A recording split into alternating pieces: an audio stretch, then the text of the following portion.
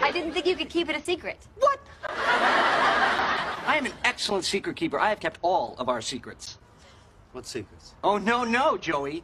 I'm not going to tell you because I am an excellent secret keeper.